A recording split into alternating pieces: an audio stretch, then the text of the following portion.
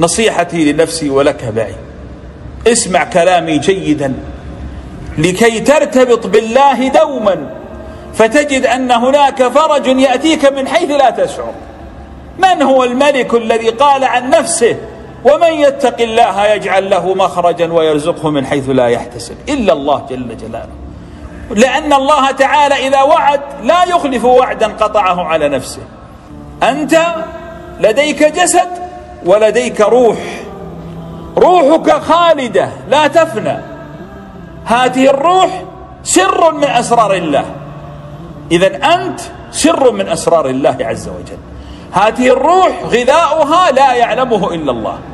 هذه الروح إذا صلحت وزكت حياتك تكون طيبة. ولذلك لو أنا وقفت أمامكم الآن وقلت لكم أقسم بالله ثم أقسم بالله ثم أقسم بالله أنه قد حدث كذا وكذا. ستصدقونني لأني كررت اليمين ثلاث مرات. فما بالكم إذن؟ إذا كان الله جل جلاله يقول كلاما ويقسم عليه ستة أيمان متتالية ألا يستحق أن نصدق هذا اليمين؟ أقسم الله فقال والشمس وضحاها والقمر إذا تلاها والليل إذا يغشاها والنهار إذا جلاها والسماء وما بناها والأرض وما طحاها ونفس وما سواها. سبعة أيمان يقسم بها الله. على ماذا كن هذا القسم يا رب؟ قال قد أفلح من زكاها وقد خاب من دساها. إذا الله يقسم لك. أنك لن تفلح إلا إذا زكت نفسك. فبماذا تزكو النفس؟ هل, هل تزكية النفس تباع؟ تزكية النفس بذكر الله عز وجل.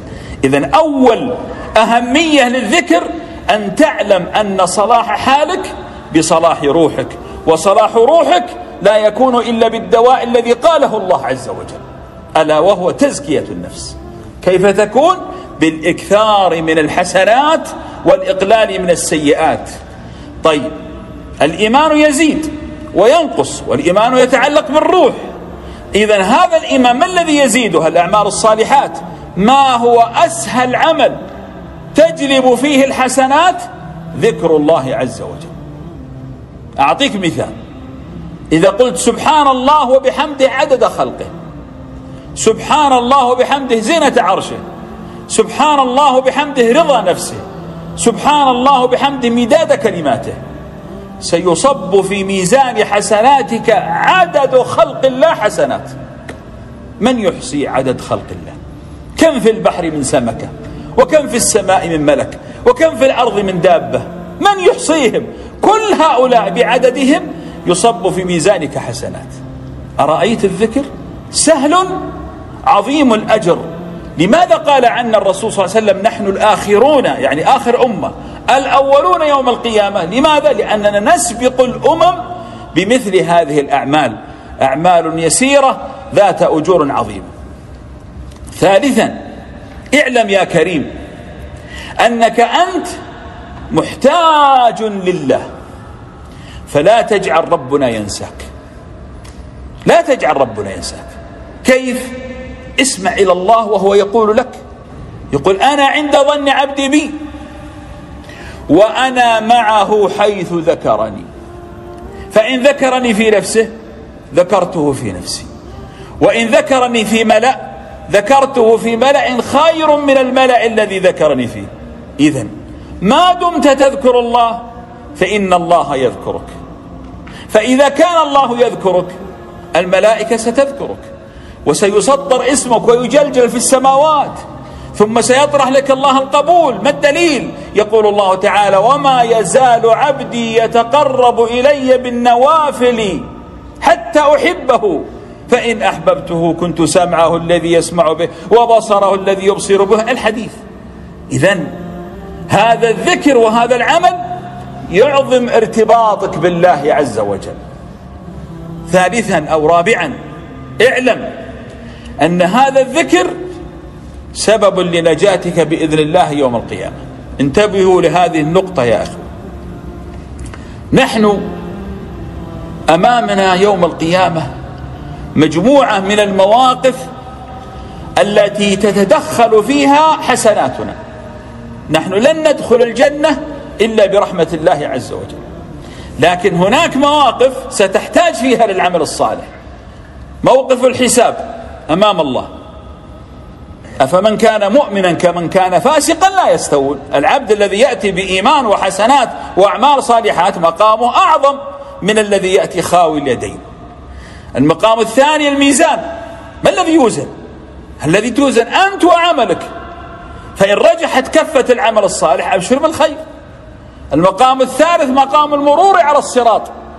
هل تعلم أن الصراط الدحض المزلة سوف تمر فوق النار. هناك سوف يعطيك الله نور. النور على قدر ماذا؟ على قدر أعمالك الصالحة. فكلما زادت كلما زاد وهجك ونورك. ولذلك المؤمنون يسعى نورهم بين أيديهم وبأيمانهم. مرادهم في ذلك الموقف أن, أن يتمم الله له نوره. أيضا هناك موقف آخر وهو موقف القنطرة التي بين الجنة والنار.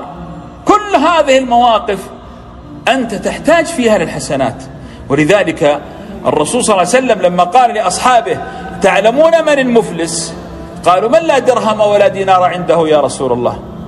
قال لا المفلس الذي يأتي يوم القيامة ومعه صلاة وصيام وكثير من العمل لكنه يأتي وقد شتم هذا. الآن ماذا يحدث؟ حقوق تسدد. وسفك دم هذا وأكل مال هذا وفعل وفعل. ثم تؤخذ من الحسنات وتوزع على خلق الله. إذا أنت محتاج إلى العمل الصالح حتى ينفعك في تلك المواقف. فاحذر يا أخي أن أن تزهد بهذه العبادات التي ترفع رصيدك عند الله عز وجل. أنا أسألكم وأسأل نفسي معكم. قبل خمس سنوات وأربعة أشهر وثلاثة أيام أتعلم أين كنت؟ أتعلم ماذا قلت؟ أتعلم ماذا كتبت؟ نسيت أن الله يقول إنا كنا نستنسخ. ما كنتم تعملون؟ هل نسيت أن الله يقول ما يلفظ من قول إلا لديه رقيب عتيد؟ نحن ننسى. وكل شيء مسجل. ومن شدة عدل الله أن من يعمل مثقال ذرة خيرا يره. ومن يعمل مثقال ذرة شرا يره. إذا انتبه. أنت محتاج للعمل الصالح.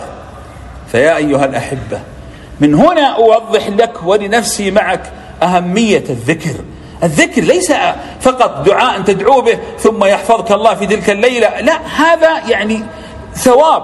لا لا الذكر أعظم. الذكر يربطك بالله هذا مختصر الكلام الماضي ركزوا معي. الذكر يربطك بالله فلا ينساك الله. الذكر يعظم لك الأعمال الصالحات والحسنات. الذكر يعينك على سداد الحقوق يوم القيامة. الذكر يشرح صدرك. ولذلك يقول جل جلاله ومن أعرض عن ذكري فإن له معيشة ضنكا. والله لن ترى السعادة ولا الأنس ما دمت بعيد عن الله. لا يمكن أصدقك وأكذب ربي. الله الذي قالها تريد السعادة؟ اتق الله. اذكر الله لا تعرض عن ذكر الله. أما إن أعرضت فلا تبحث عن السعادة. أسأل الله أن يجعلنا من الشاكرين الذاكرين. بارك الله لي ولكم في القرآن العظيم. أقول ما تسمعون وأستغفر الله لي ولكم فاستغفروه. الحمد لله وحده والصلاة والسلام على من لا نبي بعده. اعلموا أيها الإخوة الكرام أن الذكر من فضل الله عز وجل علينا أن يسره. الآن كل العبادات يا أحبتي محدودة يعني الصلاة لها أوقات ولا تزيد عن عدد معين من الركعات. الصيام له وقت محدد الحج له وقت محدد أما الذكر فلا حد له. الذين يذكرون الله قياما وقعودا وعلى جنوبهم ويتفكرون في خلق السماوات والأرض. لماذا؟ لأن الله يحب أن يرحمك. أعطاك هذا العمل اليسير ذا الأجر العظيم. واعلم أيضا أن هذا الذكر فيه حفظ لك فيه صيانة لك. يعني مثلا لما تقول لا إله إلا الله وحده لا شريك له له الملك وله الحمد وهو على كل شيء قدير. تقولها مئة مرة في كل صباح ولا تتركها انتبه احرص عليها. أشد من حرصك على أكلك وشربك. لأنها تحفظك ذلك اليوم من الشيطان بإذن الله تعالى. تحميك من كل سحر من كل حسد من كل عين. ونحن في زمن انتشر فيه الشر. هذه لا والثانية تأتي يوم القيامة كأنك أعتقت عشر رقاب. ثم ماذا قال عليه الصلاة والسلام؟ انتبهوا قال من بني إسماعيل يعني كأنك أعتقت عشرة أحرار وأعظم العمل أن تعتق الحر فيعتقك الله مقابله من النار. رأيت؟ دقائق تقولها في الصباح. فلا نبخل على أنفسنا بشيء يقربنا من ربنا. وننتبه لا ننشغل عن ربنا يا إخوة. أشغلتنا الدنيا. أشغلتنا حتى في أحلامنا نحلم بها. وقتنا كله دنيا دنيا دنيا. ثم ماذا؟ والله لن نبقى فيها يا أحبة. سنرحل. فلنرتبط بربنا. لعل الله أن يجري عنا الهموم. هذه القلوب تصدأ كما قال عليه الصلاة والسلام وجلاء الصدأ ذكر الله. هذه الحسنات التي تجلبها هي تمسح وتنظف سيئاتك الحسنات يذهبن السيئات كما قال. ثم بعد ذلك أنا أشبه الحسنات والسيئات مثل ثوبك الذي تلبسه فيه بقع. هذه البقع في بقعة تحتاج إلى غسلة بسيطة وفي بقعة تحتاج إلى غسلتين أو ثلاث وفي بقعة تحتاج إلى عشر غسلات. هذا نحن ونحن وذنوبنا. لكي ننظف الذنوب معنا كبيرة ومعنا صغائر ومعنا دخل عمل مختلط. لما نكثر الحسنات ما الذي يحدث؟ نمسح نمسح نمسح فتصفو نفوسنا وتصفو حياتنا ونقترب من ربنا.